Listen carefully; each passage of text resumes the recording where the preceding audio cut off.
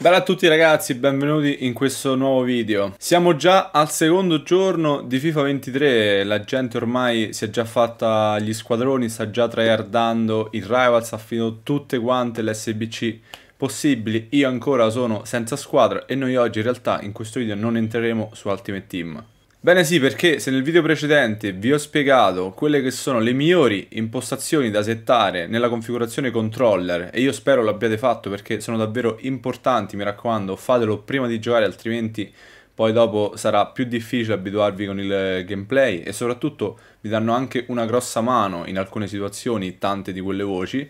Oggi andiamo a completare, diciamo, il cerchio di impostazioni da settare con le impostazioni eh, telecamera e visuale. Quindi vi mostrerò tutti i settings da impostare al meglio per avere la visuale più pulita possibile che possa anche agevolare diciamo il vostro gioco perché eh, che, che, se ne dica eh, la visuale comunque influisce anche solo a livello mentale su quello che poi è la nostra abilità nel giocare quante volte vi è capitato magari che voi abituate a giocare a tribuna stampa, andate a casa di un, amico, giocate con la visuale predefinita perché il vostro amico si trova meglio con quella e poi iniziate a cacciare le scuse, no? Mi sono trovato male con la telecamera, non mi trovo con questo.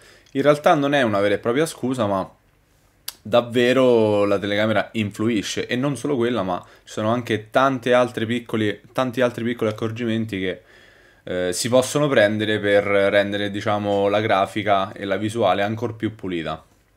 Quindi non perdiamoci in chiacchiere e, e andiamo avanti. Ma prima di partire mi raccomando ragazzi un bel like per supportare il video e, e, poi iscrivetevi al canale e attivate la campanella per non perdervi nessun contenuto perché come vedete sto cercando di portarvene il più possibile soprattutto ora che è uscito il nuovo FIFA.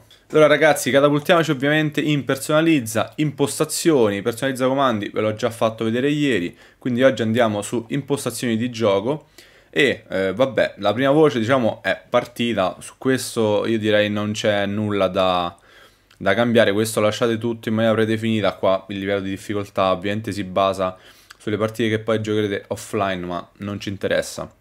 Visuale ragazzi, allora, eh, ci sarebbe tantissimo da dire sulla visuale, sulla, sulla telecamera, quella che noi chiamiamo la classica telecamera di gioco. Io personalmente utilizzo tribuna stampa, non tribuna stampa predefinita, ma eh, io metto qua se voi lasciate predefinita vi lascia altezza visuale 10 e zoom 10.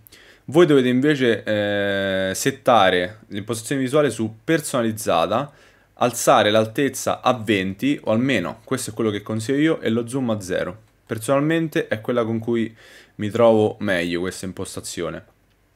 Un'altra cosa che potreste fare se siete amanti proprio del campo largo e vi piace vedere anche la difesa avversaria mentre stai difendendo già voi, c'è ovviamente la visuale coop. Eh, la visuale coop viene utilizzata anche da molti pro player perché appunto nel momento in cui magari state difendendo e prendete palla, con questa visuale riuscite quasi a vedere la difesa avversaria e a capire come sono schierati, da quale lato attaccare da quale lato non attaccare, dove c'è magari uno spazio vuoto, dove invece ci sono più avversari e quindi non conviene attaccare, come è posizionato il portiere, quindi è una visuale che se siete molto abili a eh, adocchiare insomma eh, gli spazi e tutte le caratteristiche che possono portarvi poi a fare gol, questa vi dà ovviamente una grossa mano. A me piace però questa visuale troppo distante non mi trovo al 100% a mio agio, quindi io personalmente preferisco tribuna stampa. Se mettete cop, personalmente forse la lascerei predefinita cop, non alzerei ancora di più, forse alzerei solo la visuale ma non diminuirei lo zoom se proprio volete vedere tutto il campo veramente da porta a porta quasi, fate altezza 20, zoom 0 e la chiudete. Io però lascio su tribuna stampa. Altre telecamere, c'è chi gioca ovviamente con uh, predefinita, mm, anche alcuni pro player si trovano bene con predefinita, personalmente la trovo troppo bassa.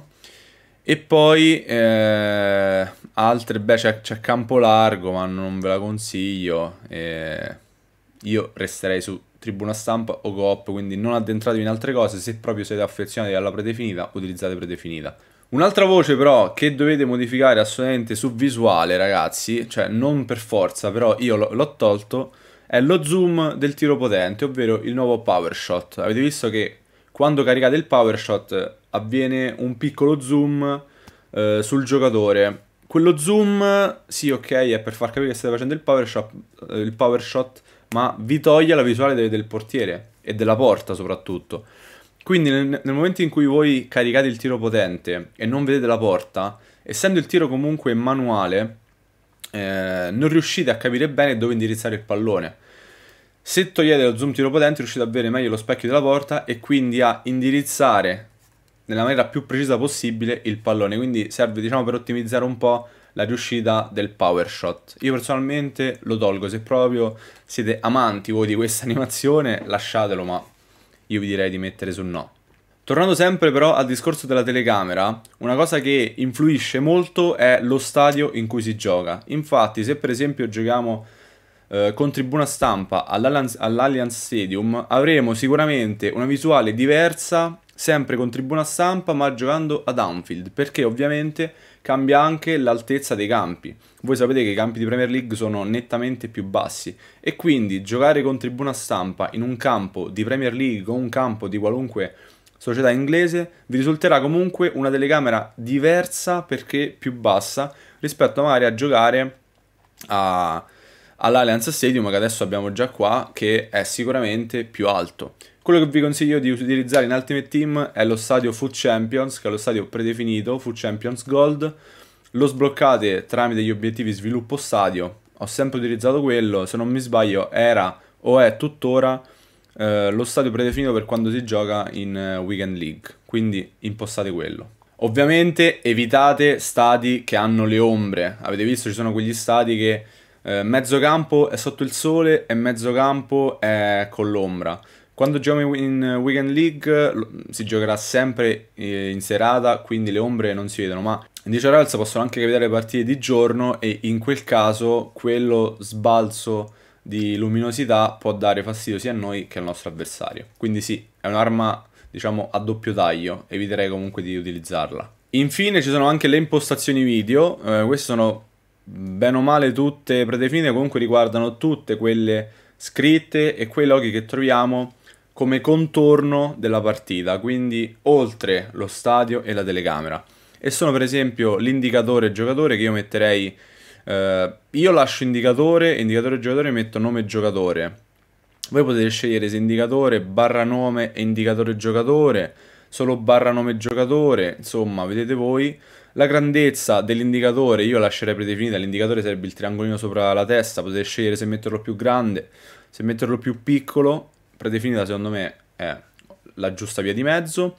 E poi per quanto riguarda tutte queste voci io le lascerei tutte quante predefinite. Una cosa fondamentale, il radar 2D e 3D. 2D è il classico rettangolino che vediamo sotto, 3D è più figo perché si vede in obliquo, però vi permette una visuale eh, non ottima, diciamo, della, ma della mappa, perché essendo in obbligo non riesci a capire bene come sono posizionati gli avversari. Con 2D invece ce l'hai praticamente di fronte e quindi riesci bene a leggere gli spazi e i movimenti avversari. Stessa cosa per il colore radar utente, raga, non lasciate predefinito perché a volte può anche non capirsi nulla, vi può capitare arancione e rosso e non capite quali siete voi e quali sono gli avversari. Io ho messo così a caso rosso e bianco e sono due colori che fanno contrasto. Potete anche mettere bianco e nero, rosso e blu, blu e bianco, blu e rosso, blu e arancione, insomma, questi sceglieteli voi. E poi qua indicatori di online, tensione rete, forma della rete, potete lasciare anche tutto quanto predefinito senza, senza fare grosse modifiche. Ed eccoci qua, siamo tornati in full cam, eh, penso di avervi detto ormai tutto, spero che questi due video, quello di ieri con le impostazioni controller più questo delle impostazioni telecamera e visuale vi possano dare sicuramente una mano, io personalmente sono le prime cose appunto che vado a settare ancora prima di iniziare a giocare così ho già tutto pronto, non devo pensare a nulla. E vedrete che comunque queste cose non è che vi faranno fare 20-0 in VL, però vi daranno magari una mano a giocare in maniera un po' più, più pulita e a dare il massimo, quindi a ottimizzare quelle che sono appunto le vostre capacità e a mettervi a, nella maniera più agiata possibile. Il video di oggi finisce qua, quindi io vi do ovviamente appuntamento al prossimo video, vi ringrazio ancora per il supporto, per qualunque dubbio vi aspetto ovviamente qui sotto nei commenti e, e niente raga, ci vediamo alla prossima, bella!